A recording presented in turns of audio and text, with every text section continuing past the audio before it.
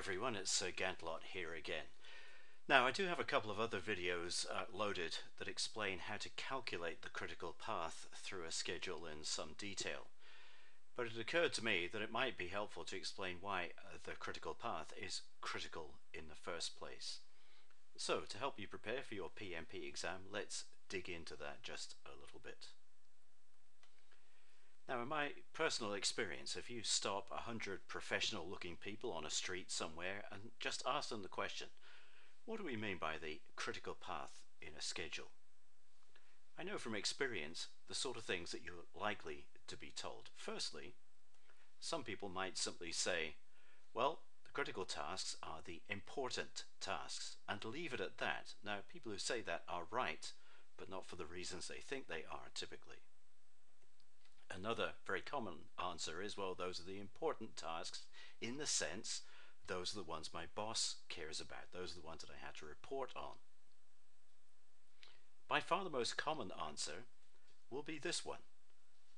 Critical tasks are the tasks that absolutely have to get done for the project to be complete. Well, that sounds plausible until you think, well, hang on a moment. Every task has to be complete for a project to be complete. So it sounds plausible, but it's, it's actually a nonsensical thing to say. So let's see what the correct answer is. The critical path through a schedule is both the longest and the shortest at the same time. So just read that a moment.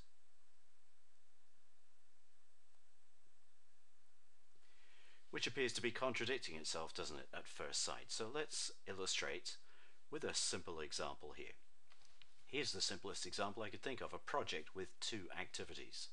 On the left you have a start milestone and as soon as the project starts both task A and task B can start and when they're both done the project is over. Well from the description the longest path and by the way when we talk about paths we're just talking about analyzing things from a logic point of view. There are two routes that you can take from that start milestone to that finish milestone. You could take a trip along task A, walk along that plank if you like, or you could take a trip along task B and then jump to the finish milestone. It's like two different stepping stones across a river almost. But the definition was the longest path, or the longest of those two paths, is task A. So that is the critical path. And it drives the duration of this project. So the critical path is the longest path and it's the minimum time in which the project can be completed as currently planned. And I think anybody looking at that would immediately say this is a 20 day project. Now, when we talk about the critical path and analyzing the schedule, of course, if someone comes in and works some extra overtime on task A, it might get done quicker. However, what we're talking about here is as currently planned. As currently planned, that's a 20 day project. It's driven by the duration of the critical path. It's almost like task A is the long pole in the tent here. Well, let me ask you a question. How much flexibility is there on task B, that shorter task? Well, most people could just look at that and say, there are 12 days of flexibility. For example, I could afford to start that task 12 days after the beginning of the project and still get the entire project done on time. Or I could start task B, spend a couple of days on it, go away for a break for 12 days, come back and do the remaining uh, uh, days and still get the project done in time. But what about task A? How much flexibility do we have there? Well, zero. If we take a break in the middle of task A and don't do anything for a couple of days and then come back and finish it off, then the project is going to be longer. So here's the thing about critical tasks. Typically, they don't have any flexibility. And the term used for scheduling flexibility is float or slack. Either of those terms is acceptable on your PMP exam.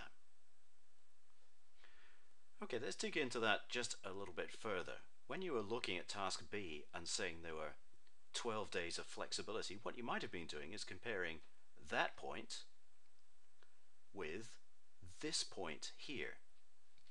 Now, it's a strange term for that first point there on the left, early start. it doesn't mean something starting early, could start early, did start early. It means what is the earliest that can start based on the logic of this network. Well, the earliest task B can start is, as currently planned is when the project starts. The point on the right, again, doesn't mean anything is starting late or is going to be late. Late start means what is the latest that a task can start without extending the project duration. Well, obviously, the latest that that task can start is right there. If it starts any later and maintains its current duration, it will push out the end date of the project. So we can actually use those two points to determine how much float or slack there is. In this example, let's say that the early start is day 0 and the late start is day 12 because it's an 8-day task after all and task A is 20 days. So the difference between those two, in other words, a late start of 12 minus the early start of 0 is 12 days. So task B has 12 days of float or slack. Task A, of course, has 0 because early start and late start are the same point. But another thing we could do is we could compare another couple of points. Early finish and late finish. Now again, early finish doesn't mean that something is finishing early or will finish early. It means how early could something finish based on the current plan. And the earliest an eight day task can finish as currently planned is eight days after it starts. Again, we're not taking account of if someone comes in and works overtime. And the latest that task could finish without delaying the project is at the end of the project. So again, we could use early finish and late finish to determine how much float there is. It's going to give you the same number, of course. If we think that the early finish on task B is day 8, the late finish on task B is day 20, well again, 20 minus 8 is going to give you 12 days again. And in fact, what scheduling tools do, things like Microsoft Project Primavera, to determine which tasks are critical, this is what they do. Firstly, they identify for every task the early start, late start, early finish, and late finish. It performs subtractions, just like we did a moment ago, to determine how much float or slack there is on every task. And wherever the task has zero float or zero slack, that task is critical, is on a critical path. And that method of determining the early start, late start, early finish, late finish is performed using something called the critical path method. It calculates the earlies, early start, early finish on a forward pass through the schedule and the late, late finish, late start on a backward pass through the schedule. And on one of my other critical path videos, I explain exactly how you can do that manually, but scheduling tools do this for you automatically. Now, some of you might have looked at uh, in that third bullet there when I say on a critical path and thought, hang on just a moment. Well, let's dig into that just slightly. How many critical paths are there in a schedule? Well, a lot of people will say there's only ever one critical path. Now, very often there is only one critical path, but there's no magic reason why there should be. In this example here, there's just a single critical path, as we've seen. Task A is critical. The critical path here goes through task A. But let's look at this example. If task A and path B were both planned to be 20 days, then this schedule has two critical paths. So it is possible to have more than one critical path through a schedule, but bearing in mind that the greatest risk is on critical path activities, if any of them is delayed, the project gets delayed, if you have more than one critical path, you have an increased amount of risk. So as I mentioned, I do have other videos about the critical path where you can calculate it in more detail. I also have other videos on YouTube about other topics that will help you prepare for your PMP exam and a couple of topics to do with using Microsoft Project. Uh, recently, I rolled out uh, a rapid rollout methodology for project risk management. I've put together a methodology that you can use on projects to deploy and operate risk management.